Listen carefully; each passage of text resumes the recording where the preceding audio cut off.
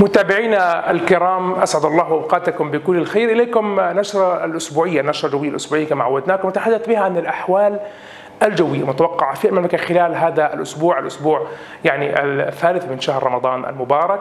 وسنتحدث به عن بعض التوقعات الجوية فيما يخص الأحوال الجوية في المملكة. نبدأها بالأحوال الجوية. يوم الأحد يوم الأحد يتميز بأن الطقس سيكون مغبر في المناطق الوسطى من المملكة مع فرص لأمطار رعدية فوق مناطق جنوب غرب المملكة وبعض المرتفعات الجبلية الوسطى بما فيها مرتفعات مكة والطائف. تقريبا درجات حرارة في العاصمة غدا أو الأحد 40 إلى 28 درجة مئوية 30 إلى 20 فوق مرتفعات جنوب غرب المملكة 37 إلى 26 فوق جدة 31 إلى 19 في تبوك. الحدود الشمالية 29 إلى 17 أتربة مثارة في مدينة الدمام والحرارة من 41 إلى 29 والأجواء مزعجة عموما غدا في مناطق جنوب وسط عفوا المملكة بمشيئة الله تعالى. بالنسبة ليوم الاثنين تنخفض درجات الحرارة قليلا بمقارنة مع ما ستكون عليه يوم الأحد تكون 37 27 في العاصمة مع فرص لبعض الأمطار الحقيقة في العاصمة الرياض تكون ممتدة هذه الفرص من المرتفعات الجبلية الوسطى من المناطق الغربية كمرتفعات الطائف ومكة المكرمة وحتى المدينة تمتد هذه الأمطار باتجاه المناطق الوسطى بعيد ساعات العصر وتكون هناك الأجواء حتى في مرتفعات تلك المناطق مكة والطائف مهيئه بها تشهد أمطار رعدية ربما تمتد إلى بعض المرتفعات الجنوبية الغربية. تكون درجة الحرارة كما ذكرنا 37 27 31 إلى 21 في جبال جنوب غرب المملكة 34 إلى 21 في تبوك في جدة من 36 إلى 25 32 19 في الحدود الشمالية. أما في الدمام فيطرا انخفاض ملموس على درجات الحرارة تكون من 34 26 وتنشط الرياح الشمالية بشكل لافت وتكون مثيرة حتى للغبار حتى في منطقة ومدينة الدمام وعموم المناطق الشرقية من المملكة. يوم الثلاثاء سيكون هناك المزيد من انخفاض على درجات الحرارة.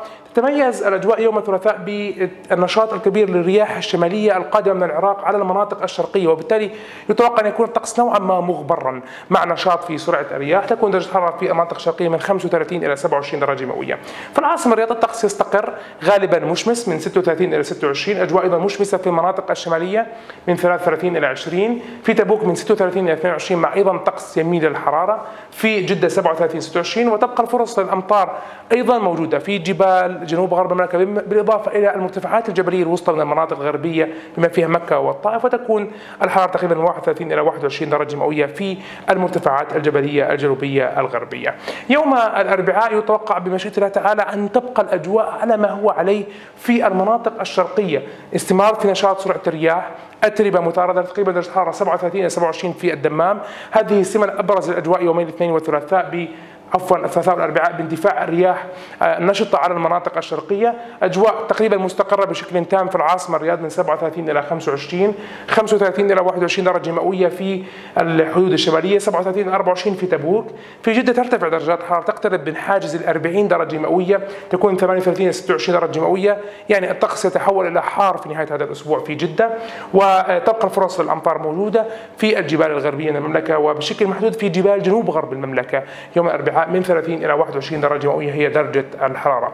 يوم الخميس نتوقع أن تهب رياح شرقية على مدينة جدة تعمل على ارتفاع ملموس على درجات الحرارة تصل إلى 42 درجة مئوية نهارا 27 ليلة وبالتالي الطقس سيكون شديد الحرارة في جدة يوم الخميس المقبل. تبقى الاحتمالية واردة بالتغيير وبالتالي دائما ننصحكم إلى متابعة الحالة الجوية أولا بأول ولكن هناك ارتفاع لافت على درجات الحرارة.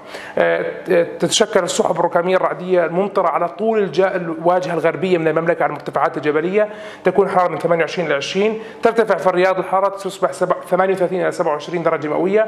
ظهور بعض السحب والغيوم في تبوك العالية والمتوسطة 37 إلى 24 درجة مئوية. 38 إلى 25 في الحدود الشمالية و38 إلى 26 في الدمام والمنطقة الشرقية وهدوء نسبي في سرعة الرياح في تلك المناطق. أما يوم الجمعة هناك خبر صار للسعوديين في في أغلب مناطق غرب المملكة. هناك بوادر وبشائر على وجود حالة ممطرة واسعة النطاق يتوقع أن تؤثر على طول المناطق الغربية من المملكة اعتبارا من نهار يوم الجمعة والأسبوع الذي يلي القادم بإذن الله. طبعا دائما تعلمون أن الخرائط تتغير والحسابات الجوية والنماذج تتغير بالتالي لكن هناك المؤشرات باتت واضحة على ما يبدو لوجود أحوال جوية غير مستقرة للغاية على طول المناطق الغربية وبما فيها فيها حتى بعض الأجزاء الوسطى من المملكة بداية من الأسبوع القادم ونهاية هذا الأسبوع الحالي بيوم الجمعة حيث تنتشر الأمطار الرعدية على طول المناطق الشمالية الغربية والغربية والجنوبية الغربية من المملكة بما فيها تبوك. تكون درجات الحراره مرتفعة في جدة نتيجة الرياح الشرقية.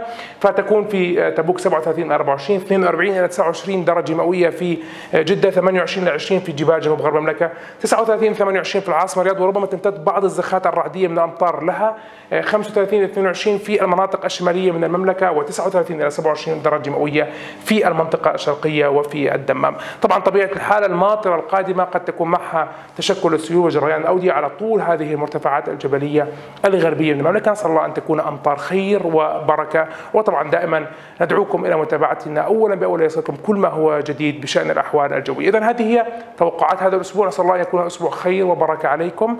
نتمنى دائما أن نكون عند حسن ظنكم. دمتم في رعاية الله. إلى اللقاء.